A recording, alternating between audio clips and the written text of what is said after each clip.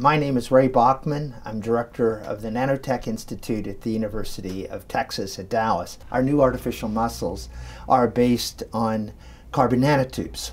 Carbon nanotubes are cylinders of carbon.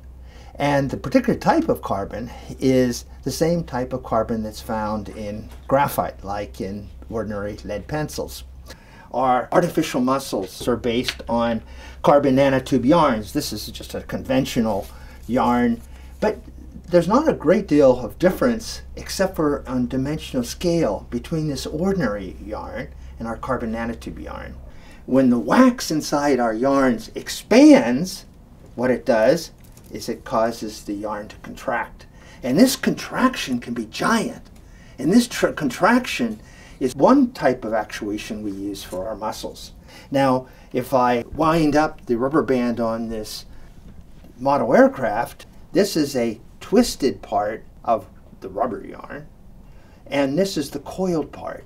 This coiling is extremely important in our obtaining uh, very high actuation for our yarn. These artificial muscles that we've developed can lift weights that are uh, enormous compared to their dimensions.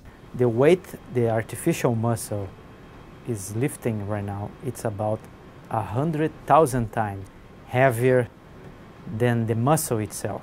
We've powered these uh, artificial muscles using a light flash just from an ordinary 100 watt lamp. Uh, in this case, the light flash is causing the paraffin wax within the yarn to melt and cause produce actuation. What are the applications of these muscles? They're strong. They can contract, provide giant contractions. They can rotate uh, paddles. We use the fact that we can weave our uh, carbon nanotube yarns into textiles.